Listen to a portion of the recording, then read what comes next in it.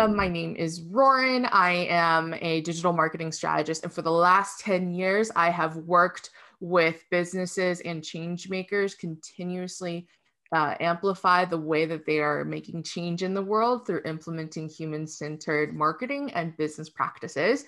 Welcome to the Real Talk with Rauren show, where I get to bring on some of my favorite happy humans in the world and we get to talk about real stuff and talking about setting real standards in our industry not the romanticized fluff that you normally hear about business. We're getting real today and today i am so excited that i have the amazing ashley with the prowess project and we met on um i think we met online. Like we were in the same network of happy humans. I think it was um fearless leader. I think you're right. Yeah, I think you're right. Yeah. And so we met on there and um, she and I, she was talking about hiring and looking for people and we just immediately clicked. And then when we chatted, she was like, yes, I want to help women be able to get back into the job market and continue their brilliance as mothers and as just awesome badass women along the way. And simultaneously and this is where i was like yes i need you on the show because lord have mercy and i talk about this all the time is like you hire on culture and then you hire on skill set emotional intelligence. Like that's like the buzzword that's going around right? So sister uh, if i could tattoo that to my forehead i would. It is it is shocking to me that that is this revolutionary thing. You spend what eight to 10 hours on the low end with people that you work with. It is just bizarre to me. But anyway, we can get all into that. We're going to get all into that nitty gritty stuff today. Um, but so to get started, the goal, so our goal for today, and when we're talking about setting real standards, is talking about this shift, right? Like, the millennials, Ashley and I are like millennial generation. We were kind of the guinea pigs of this shift in mindset of, of um, being part of a company for culture versus just skill set. And I think um, upper management and leaders are recognizing as a lesson learned that you can't just treat human beings like machines. We're not. That's that's not that's not what we're there for, right? And um, it's a shift. So we have this to set the scene. We have this whole generation that is entering the market, the Gen Zers, right? They are what we call the digital natives, meaning they process information completely different than the predecessors. And I will set the scene on this, and then I would love to. I'm going to introduce Ashley, and um, and then we can really get into the nerdiness because we are like itching to get in there. So the setting of the scene is that this is a whole new audience that is there. It's the new way of processing. And when I say processing, people don't realize this is that there is a analog mindset and then there is a digital mindset. So, and this is purely based on the generation and lived experiences that you have been born into that makes the way you perceive the world very different. An easy example is if you've only stayed in the same town or the same state or the same country, you're going to have a very different experience than if you have been a person that has traveled around the world, aka cultured air quotes on the jargon that is being thrown, right? And uh, so in the digital versus analog, it's even more drastic. In right. traditional analog, we process based on what we see and hear. And that is a human trait across the board. Human beings process information based on lines and shapes. If you ever take an art theory, it's lines and shapes and stuff. So when you're analog, you are processing information based on how that person acts walks and acts walks and talks and their look of their skin. That is why you hear younger generation say things like why is racism still a thing? Why is ageism still a thing? Because in their brain they actually don't process information like that first because how they grew up was chat board they saw a username yes. and how yep. they talk. So analog generations, we process by how you look and then we process by how you talk. um, which is like don't judge a book by its cover conversation kicks in, right? Yes. But Yes. in the digital, it's a how you talk and then how you look conversation. I love that. I never had anyone break that down for me before, and it makes so much sense. I love this. Um, adding this to my my explanations, I'll give you mm. credit.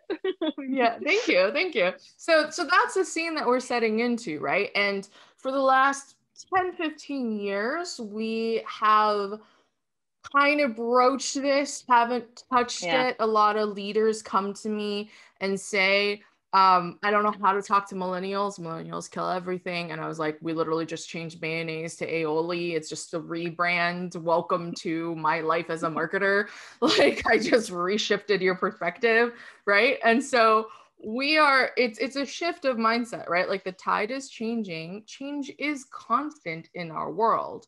And so I'm going to set the scene of for those that are listening is that we are hitting recruiting season. This is technically this is going to make me feel old but um any the the generation coming into the workforce this year may 2021 was born after 2000 no, are you serious?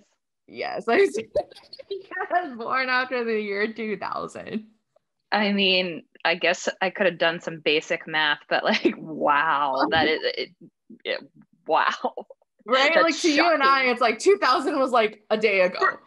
Right, hundred percent, hundred percent. Yeah. Like, wow, right? Oh, it's insane. it's and that's insane right? And so the goal for this episode is for us to explore um how this changes the way that we do business how it changes because business owners we always hear and as a marketer it's like revenue revenue revenue. How many customers can i get through the door right? But do you realize even as a product based company the other part of the lifeblood of company is not just the amount of customers through the door mm-hmm. but the employees that are serving your customers. Because it's no longer just here's a cup. It's a how is this cup getting delivered? Who am i talking to on that facebook messenger chat friend? Like i like i will be there will be customers messaging you at odd Yeah. hours of the night asking these questions and they expect you to talk to them otherwise you're going to get that really scathing review on social somewhere right One hundred percent. And when they expect an answer, they expect a real person. They expect someone with emotions. They expect someone who is thoughtful, someone who also is very aligned with the brand. It's all about the full on experience now, unlike it has ever been before. Exactly. And taking care of your people is more powerful than anything else. And like, bef- and like an example is the WeWork debacle. I'm going to tease a little bit before we go in. It's like the WeWork debacle is like the perfect example. They sold an experience, a WeWork experience. They had a cult. I like saw briefly the documentary and I'm like, this is everything wrong with culture that you should not do. Like that was like my feelings of it. I was like, hmm, ooh, friend, no, ooh, ooh, Yeah. ooh. Like that was that was my face the whole entire time. And uh, we'll talk about we could bring up different examples, but to get started, Ashley, please introduce yourself and the Prowess Project. I did a brief intro at the beginning, but I want people to hear from you on what y'all Yeah. do because you are leading the charge in shifting. And it starts with who you bring to the table. Because, like we talked about earlier, who represents a company is equally as important as the brand knowing who it is as a human being. Right. so incredibly key. And I just want to say thanks so much for having me on here. I mean, we're what 10 minutes in, and this has been so fun already. Um, so, a bit about me. I am Ashley Connell, CEO and founder of Prowess Project, and I started my career 10, uh, 15 years of B2B tech marketing. So, um, woke up one day and was like, wow, I had been making all of these decisions because of this background anxiety that I had of how I was going to continue this career that I loved, that I moved across the world and back for. and then also have children someday. So, did um, some digging. According to Harvard Business Review, if a woman's out of the workforce for just three years, she loses a total of 37% of her compensation power forever. And this happens to 43% of women. Insane problem that is there is not a solution for. And then um, here comes COVID 19 and we saw 5 million women in the past year get pushed out of the workforce because they couldn't manage both a career and um, childcare with daycares being closed so anyway um, I, I, wanted to solve my my future problem in that and how i was going to balance it so i went out and talked to this was two years ago went out and talked to hundreds of women who were in this position who had been out for two years um, and were trying to get back in and all they could get were unpaid internships. And these were educated, uh, experienced women. And what I realized and what they told me they needed was their biggest barrier to reentry was confidence. And again, skilled, experienced, educated women, what they needed was a clear path that took them from home to hired. And so that's what we built with Prowess Project. It's an integrated platform that st- first starts with upskilling, so remote work, project management, the latest technology, then goes into confidence, emotional intelligence, career planning. There is a professional network um, of women just like them. And then while they're going through that journey, we are gathering hundreds of data points on them on not just their skill and expertise and what they can do, but also their communication style, their learning style, their values, there uh, it, it really creates at the end this full holistic profile of these women. And that's ha- what we use in order to match them up with companies and jobs.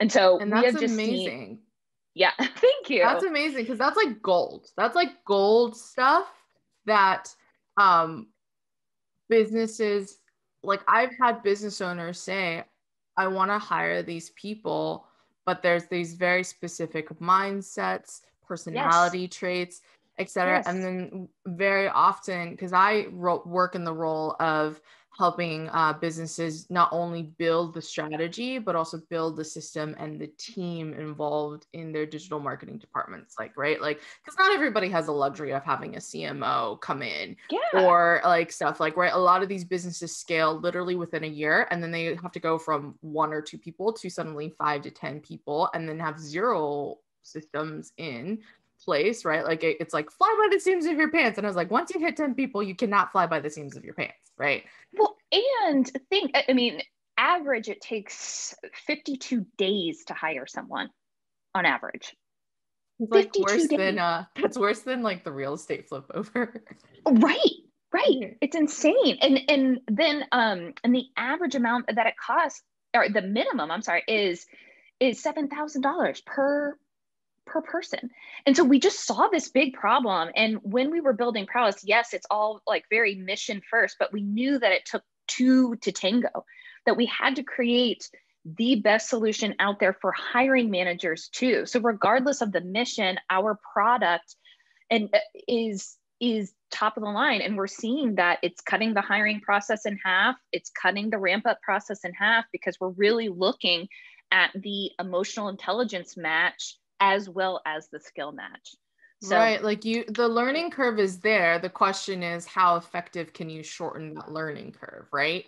And, yes. and part of it is like systems of hire and then training that person. So I fit more on the training side, right? Like once you find the person with potential, they have to have a system where that diamond in the rough actually gets polished to be a good happy human and fully optimized right. and set up for success like key language right set up for success along the way and I love that because like you're talking about hiring managers. Not a lot of businesses have hiring managers either, right? Like sometimes yeah. the sometimes the hiring manager happens to be like the COO or the direct managers, right? Yes like the direct managers are like here you do this like the ceo is like oh and they're interviewing all of it too right like and um there's not a huge process and so you're kind of like shrinking the risk factor, right? Exactly. That is exactly what we say to them. And again, it's all based on data. It, uh, we have a behavior scientist who helped us like build all this out and our COO, her background psychology. And so it's based on, hey, let's look at, at at people who work well together what are the key factors what is that pers- perfect like puzzle piece fit and right. let's help you find that not right. like hey i i know how to do google ads like or or eh. i am this myers-briggs personality type because yeah right. Right right. And in in what we found that was super key in doing all of this is it's one thing to say i am organized and another thing to show you are organized. And so that's what's been really interesting throughout this process is our talent which again we're starting with these women returning to the workforce we're going to expand exponentially uh, but they have to show like they have to show throughout this program that they're organized and we're gathering data on that. So it's it's it's not self-reporting. Um so anyway. Yeah. I love it. And i love that because like the biggest fear so let's talk about a little bit about hiring and like the biggest fear and like going into yeah. this next generation right? So let me give some everyone that knows me is i'm a history nerd and i am like that nerdy human who's like able to see shifts in social discourse in the people's court of opinion that I call social media. And I'm able to instantaneously give clarity on it because I'm like this history nerd. And I'm like, this is history repeating itself just in a modern era. Right. And in order to, I love Brene Brown. So, uh, as she says, in order to own your story, you have to actually understand what the heck is your story right? Like until you own your confidence, you can't do that. So let's talk a little bit about the the shift that is coming in, right? Like it is about culture first, and then it's about um, skill set. And you've just described that how you guys are tactically able to do that, and it is help satisfying this big need. Like if you are a manager, a um, a owner, CEO owner, any leader, right? This deep fear that I often hear from my clients is I am afraid that I'm going to bring whoever this person is uh, mm-hmm. on and they are just doing the work for the yep. sake of doing the work. Right. Yep. Phoning it in. Yep. Yeah. Phoning it in. And like, how do I make sure that the person that I'm investing in, because it's not just the 7,000 average $7,000 to find the person. And then you add on like what an average payroll is, which is then you're hitting easily 100K, right? Like, so after all things are done and dusted, benefits, salary, etc., entry to medium pay level, whatever, you're looking at least between like 100K. There's a reason why we say payroll kills a business at the end of 100%. the day. 100%. I mean, for turnover, the the average amount of turnover cost is 250% of someone's salary.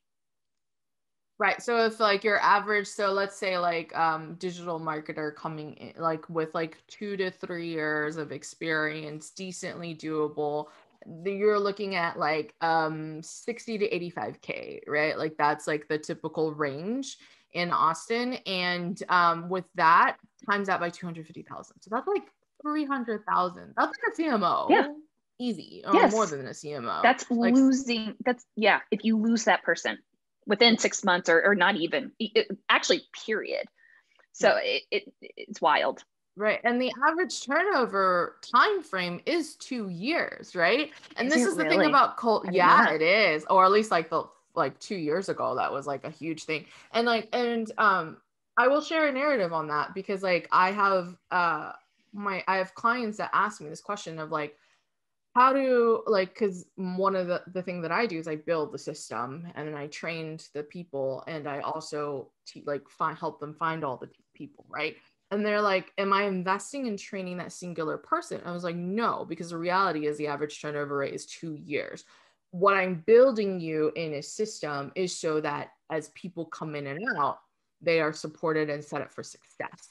And you cannot you do not lose the cost of that person that grew up with it who has all of this history and knowledge. Like that doesn't go away when they walk out of the door right? Like you are creating a repeatable yes blueprint for them that they can use forever. I love it absolutely love Yeah, it. And that's what I do, right? Because of that two year fear. But let's talk a little bit about history of this two year fear and why all of this is happening and why and then how we can move forward with it, right?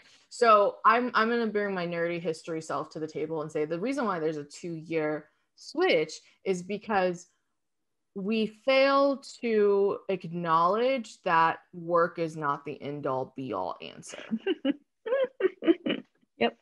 there's that's one truth bomb. I'm also notoriously known for truth bombs, right? So I, I preface with I'm talking about history, but I'm also talking truth bombs. So it is we're we're we fail to realize that. And so people we are in a society that is highly career focused, right? Like if you're to your point, you spend eight hours a day, you spend more time at work than you do with your own family. So Easily. a lot of people are stuck in this living to work mentality. And they hit the two year mark not because that they have outgrown their potential within a company. It's usually because of two things. They either realize that this is not what they wanted to do aka they have been living to work versus working to live. And then two the culture of the company is not supporting them in success to grow so like a simple thing called we, call team member reviews. Like Mhm. I saw a crazy statistic the other day that was like only like 30 40% of companies actually do um like annual reviews and I was like I used to do like monthly reviews with my team quarterly and then my COO had weekly team development meetings right like we did the whole shebang right? And like that's but most companies don't do even annual reviews. Like it's wild It's right? crazy to me. So because it's it and it's like people are like why is that? And i was like because talking about human beings is hard. Yep. Humans are, not, are messy. As one of my great friends marisha murphy says humans are m- messy. Right?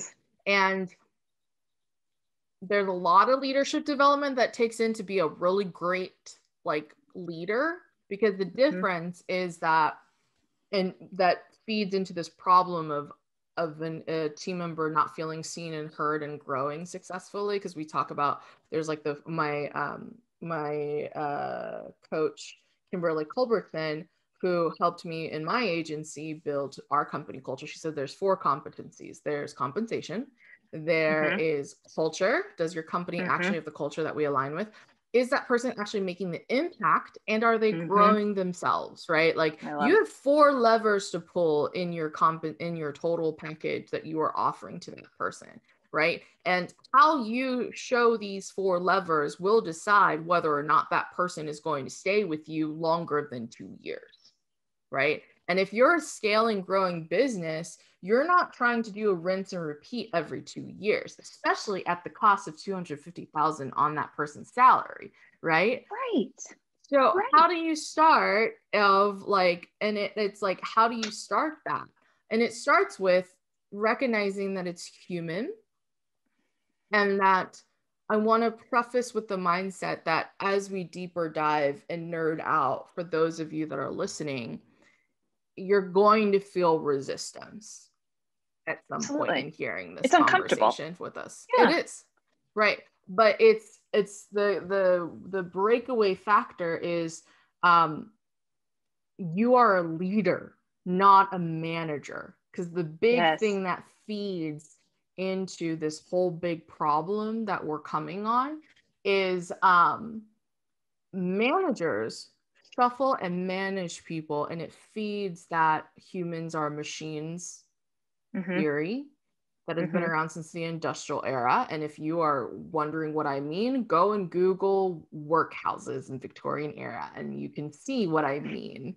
Right? Like people try to understand racism. And I have to say, it, it's when human beings were dehumanized and we have to come back from a race of people being dehumanized. Right?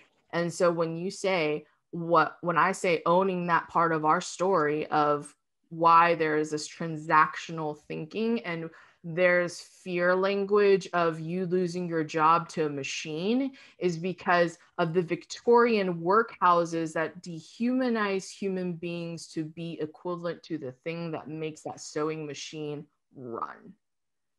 So if hmm. you are interested in learning more about that, Google Victorian workhouses and take a deep breath and maybe have some wine with you along the way to learn more. But that's that's where we're coming from, right? We're yeah. coming from a hundred plus years now from that. Like the pendulum is swinging back to being human because before that point, people were human beings, or mostly, I mean, slavery and all that stuff aside, like mostly for employed, right? But the language in the Victorian era was the employed, and it was not until like the 20s and 30s that it switched to employee.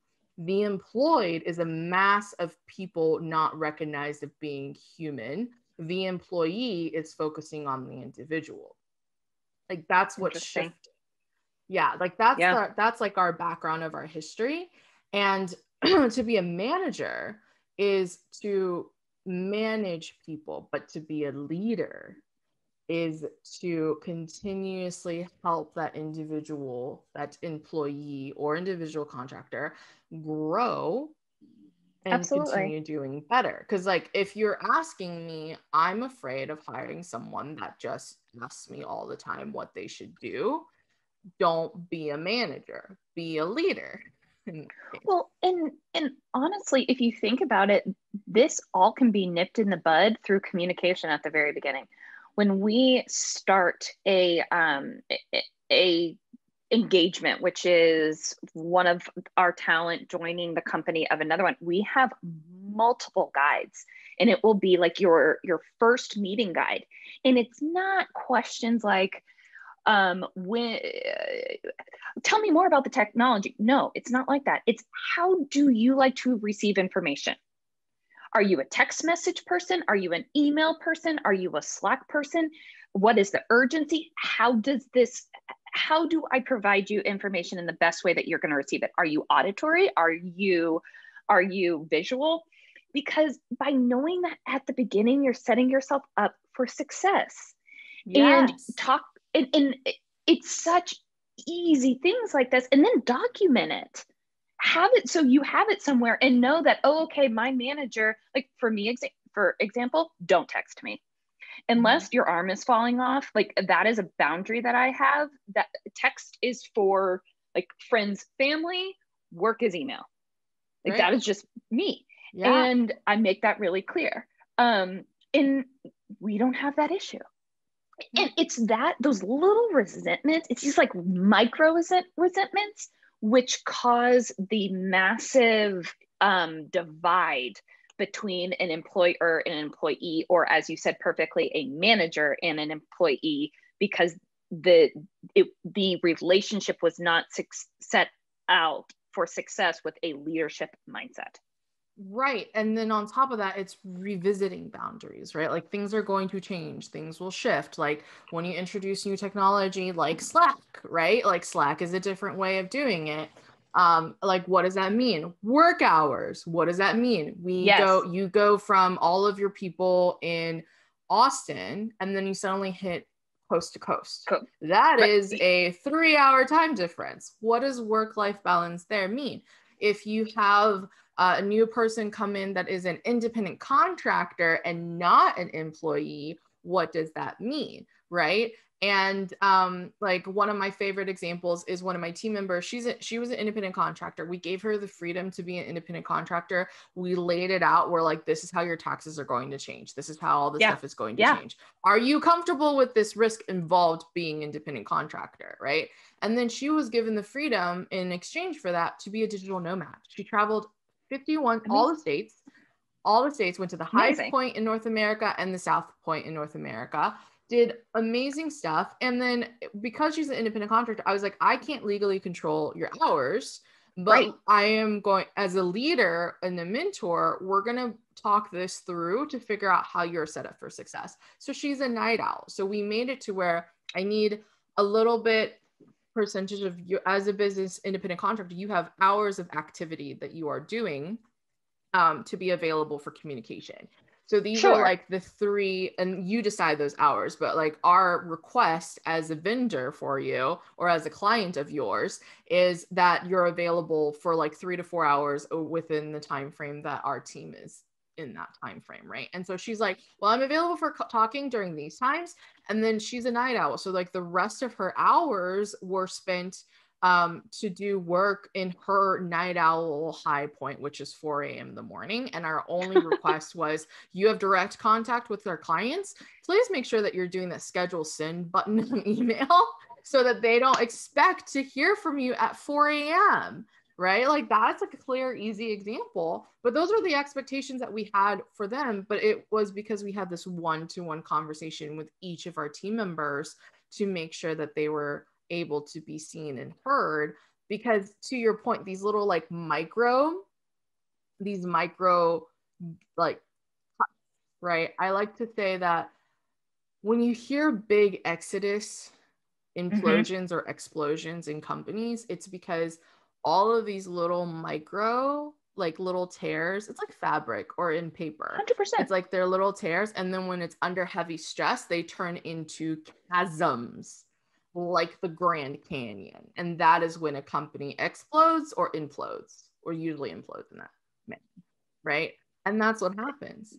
And so it's like you guys are setting up simple easy structures and it's and it's not people are like oh it's culture it's woo it's feelings intangible i was like we just gave an easy example of how you communicate culture is about communication it's not the things that you write on your damn cup No, how no, absolutely not. It is not the swag. Like I'm so over everyone. We we have enough company like tumblers. Like we're done. I'm done with the tumblers. You know, like uh, Agreed. start valuing me as a human, and then okay.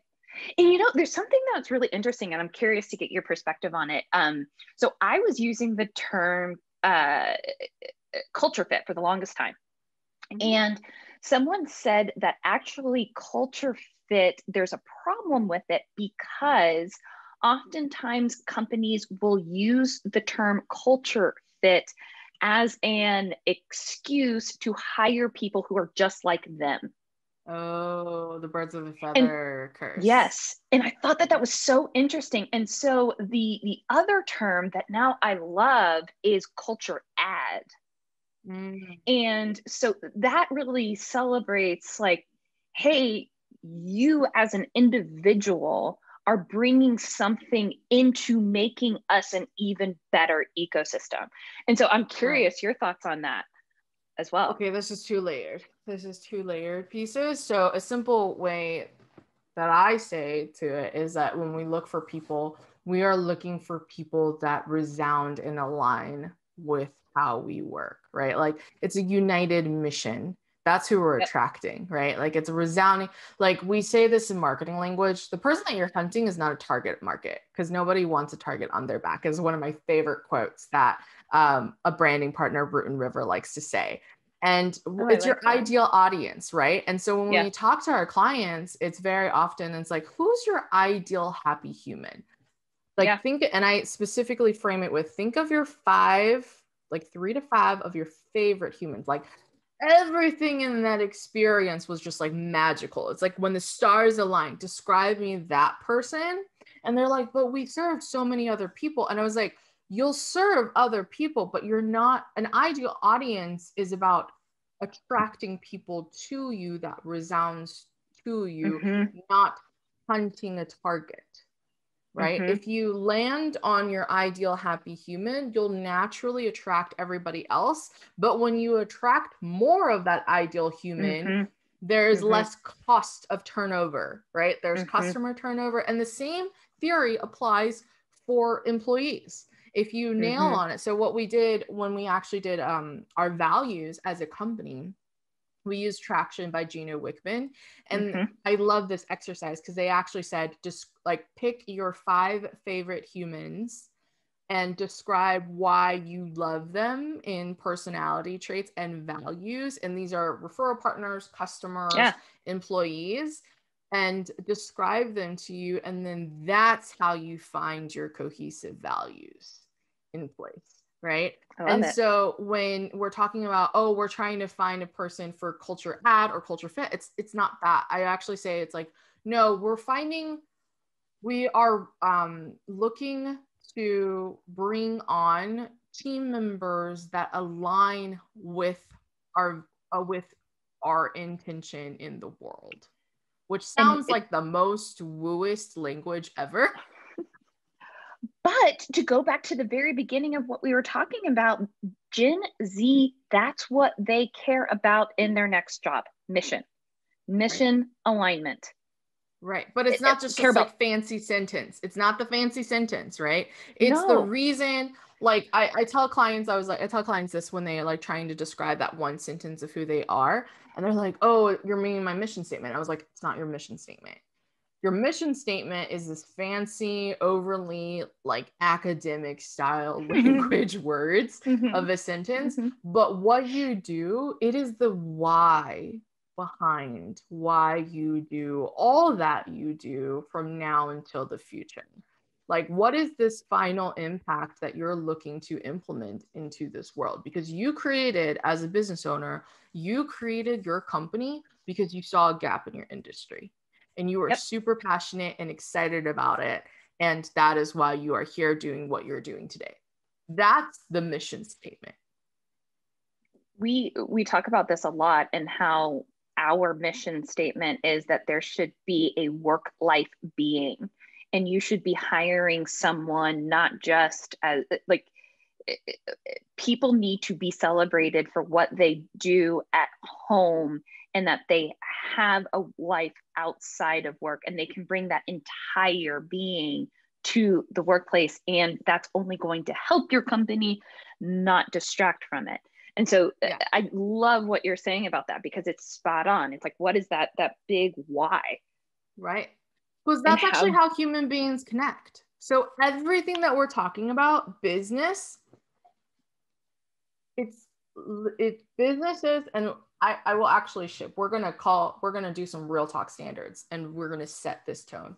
Because i say this to people all the time and this was uh, introduced to me by like an amazing coach who is um, really like he's like Dumbledore when he talks to me, but he he said it this it. way. He's like, businesses are living organisms filled with amazing human beings that may flow in and out, just like how a living organism has cells and parts of it that moves in and out, right? And that's the heart and soul of it. Your brand. This is why I don't actually say business or uh, companies when I talk when I talk about mm-hmm. who I work with. I work with change makers, aka the individual in there who's actively yeah. making change, helping their brand, aka living organism, continue to do the impact that it's creating in the world. Right. Like that's my it. sweet resounding yeah. thought that I like to do. Right. But it's living organisms. So it's made out of individual, amazing humans that um, make our world a better place around it. Like as people come and change, your brand will evolve. When we say brands evolve, just like human beings evolve, you will also evolve based on the people that you have. And this is a really um, another truth bomb is that because change is con- constant, um, people will come in and out. So we actually yeah. change our philosophy. So there's a very traditional concept of like, you're going to be with me forever. And I also go back to the workhouse Victorian era. You are literally signing your life away when you enter a workhouse. And so, like, that thing of I'm going to be with you forever is this thing, right? And however, the world has changed and people change and people evolve, people grow.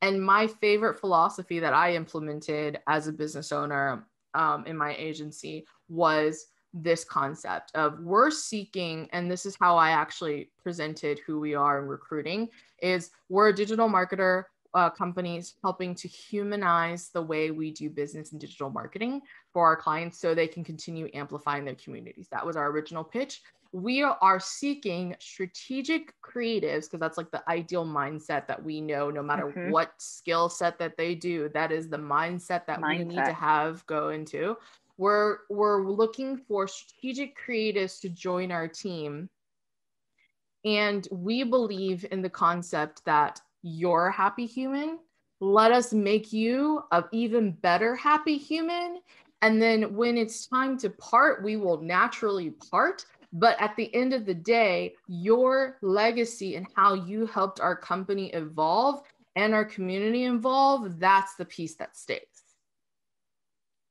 and that's how we set up I mean, our culture yeah I, I really, really like that. I, I even took a note about describing the mindset that you want, not traits about the person. I really, really like that. Um, that might be a, a, instead of saying culture fit or culture add, it should be mindset fit. Yeah.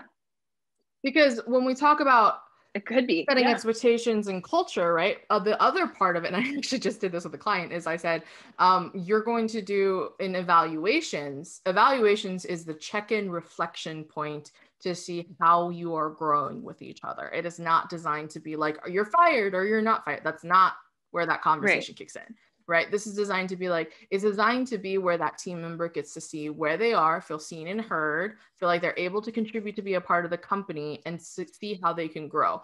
Nailing four of the comp, all four competencies in one go, right? Like those are your four I levers. really like that too. Right? Yeah, yeah. And uh, so it's all four of those things and how you evaluate them.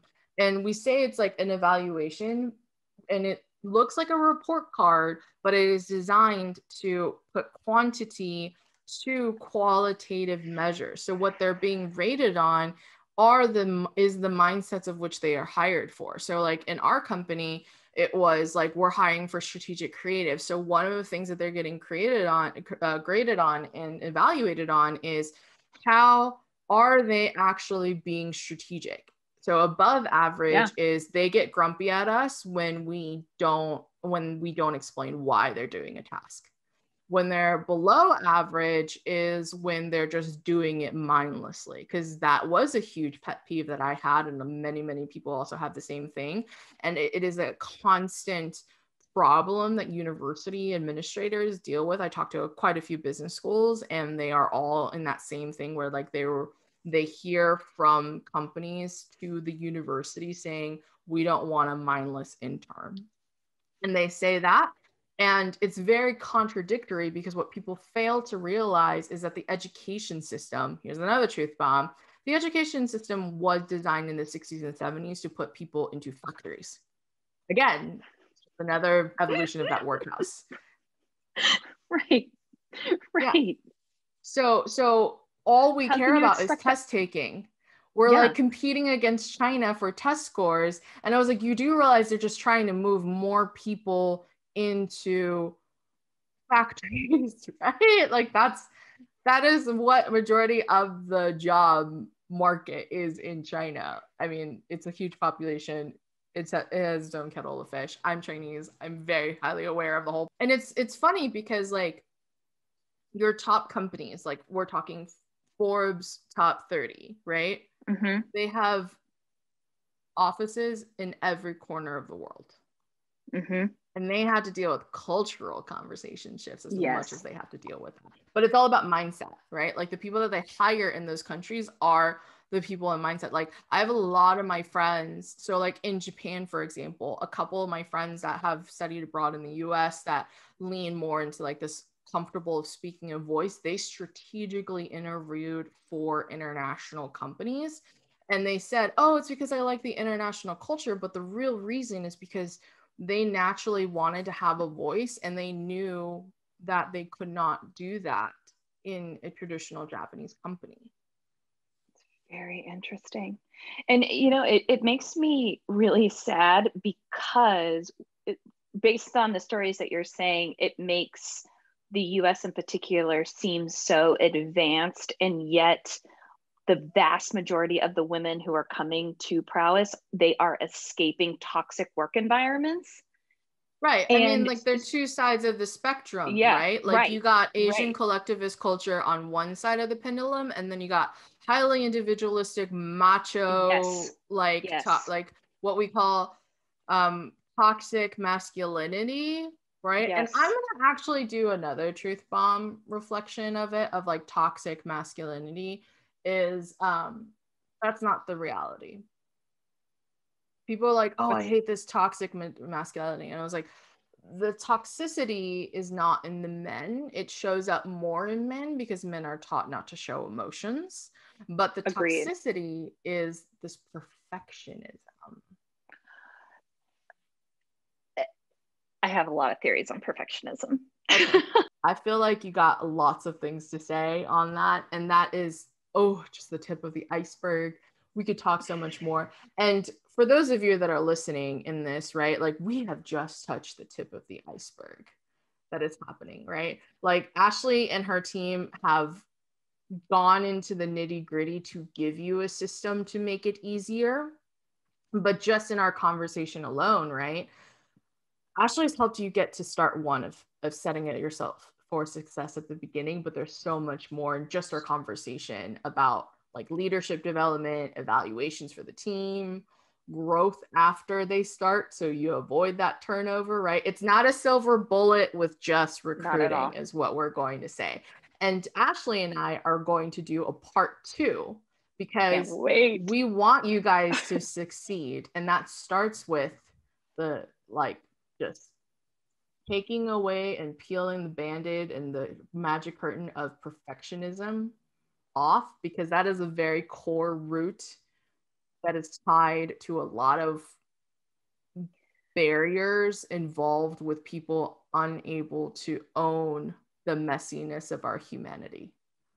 Yes. And we, in particular, at Prowess, based on what we're doing, we're looking at this from a gender lens. And so I have a lot of data to to share and even stories to share just on how that's looked at different in pressures, unfair pressures on both to both genders. So anyway, lots to talk about. Lots to talk about. Thank you so much again for this episode. Yeah, we're gonna have awesome. a part two because this this and the, awesome. these next couple episodes we're gonna dig deep into and this is just we can't just talk about it in one right um no episode. If you are interested in if you are listening or watching this and you're like and you have questions that you're curious on, let us know. We have these Absolutely. episodes are pre-filmed in advance, but we can definitely do a fun live q&a session if you guys that. have all of these questions i would love us. that yeah so comment on the video below thanks so much and have a great day bye